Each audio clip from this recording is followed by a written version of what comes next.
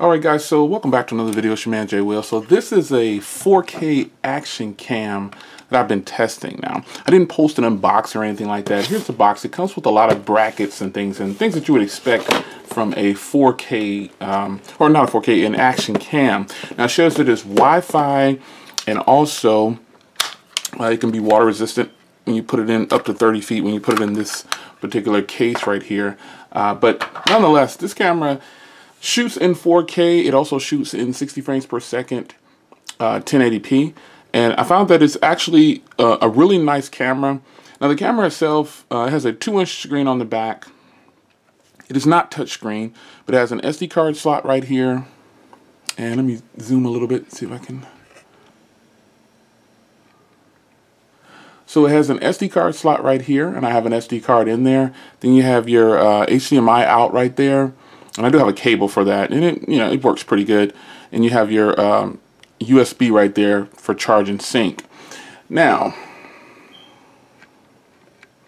this camera shoots pretty good video, and I'm going to go ahead and pop some of the video in so you can see it. But navigating the camera, since it's not a touchscreen, can be a little difficult. So it powers on by holding down this button here, and it comes on, and then you get the the interface.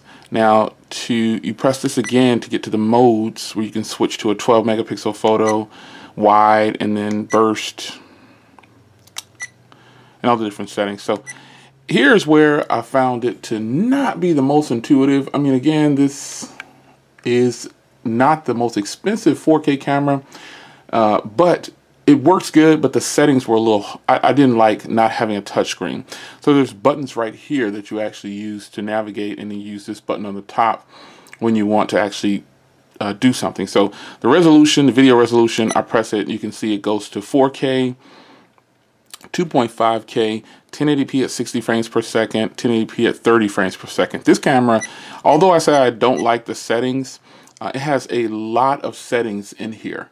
So as you can see here, 720p at 120 frames per second and 720p at 60 frames per second. This camera is boss. It's really good. Let me see if I can. And here's what I ran into trying to get out of here. I was like, how do you get out of here? And this is where I'm talking about where the settings weren't that good. So you gotta you gotta hit the mode button and, and it'll take you back out. So then uh, you can go video looping, you can do timestamp, you can do the, I can do the exposure, you can do the photo resolution. And I keep it set at the 12 megapixel because I don't see why I wouldn't. I want to get the highest quality I can possibly get. Uh, but nonetheless, it is good. So, um, and I'll do, I'll uh, probably post some photos, I don't know. But uh, I really, I use this in the car for just a short bit of time, as you can see in the video uh, footage there. And the quality is good to be, it's good for 4K. Burst photos, time lapse, continuous lapse. Um, you can do the power frequency. You can see here, you can do it 50 hertz, 60 hertz, or auto. You can change the language, date and time, and sound indicator. You can flip it to where it's upside down with all these different brackets, depending on how you're mounting it. It even has a screensaver and a power saver. Uh, and then that's everything there. Uh, the camera itself, though, um, I was I was fairly impressed with it. Um, it comes open on the, the, battery. There's a battery in here that you take out. Uh, nonetheless, this camera proved itself to be pretty good. Uh, the only thing that I dislike about it uh, is the actual navigating through the through the system there. I don't like how the menu is because it's not a touchscreen. And it's, it's intuitive, but it's just it's not a touchscreen. And I don't like scanning back and forth with all these buttons right here. I just didn't like that. Uh, nonetheless, the camera is good. The one thing I didn't operate was the Wi-Fi. Um, just couldn't get it to work. Um, um, after one or two tries, I said, you know what, I won't even use the Wi-Fi anyway. Uh, so, but the 4K sample footage is really good. I mean, this this little camera is only $55 and it it shoots in 4K. It shoots in 1080p at 60 frames per second. That's just beautiful footage. I mean, what what more could you want? What you can see there. 4K. That's really good. And let me go back to the settings. Oops, wrong one. Uh oh, didn't I took a photo, a 12 megapixel photo. As a matter of fact, I think I will. I'll I'll, I'll take some photos, and um, I'll go ahead and um, let you see how they look. And I'll do that now. I'm going to take some photos and I'll post them at the end of this video. But anyway, this is a 4K action cam. Uh, I'll give you some video footage and some photos so let you see how it actually actually how she works. And $55, I don't think you can have find a better deal like this on the internet. Not a GoPro. I think it's a little bit better than a GoPro actually because it costs a smidgen of the cost of a GoPro.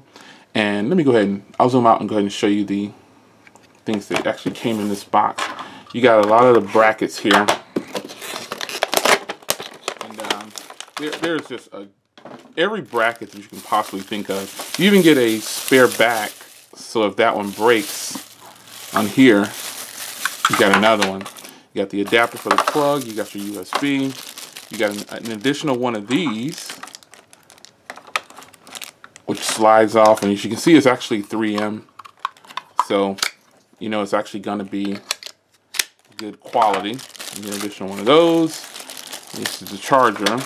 And here comes all the extra brackets that you get. There are so many brackets in here. I just, here's a belt clip.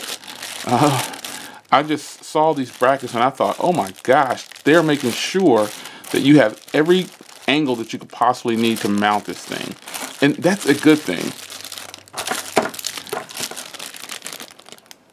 You see all these brackets, you even get extra 3M. And you get a cleaning cloth as well, pretty nice cleaning cloth. Uh, but yeah, this action cam proved itself to be really, really useful. The quality was really good. Um, let's get back in here.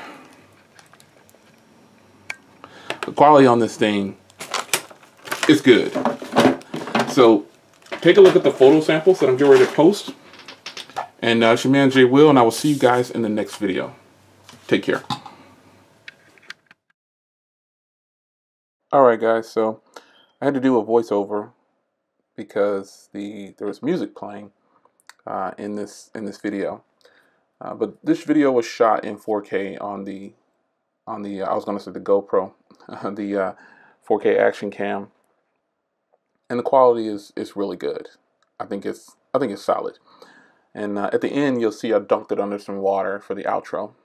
But uh, there it is a nice uh, video sample. I was just kind of moving it around to see how the frame rate was, and it it, um, it reproduces the colors pretty accurately. Uh, as I was driving here, I was just kind of swinging it around to see how it would do.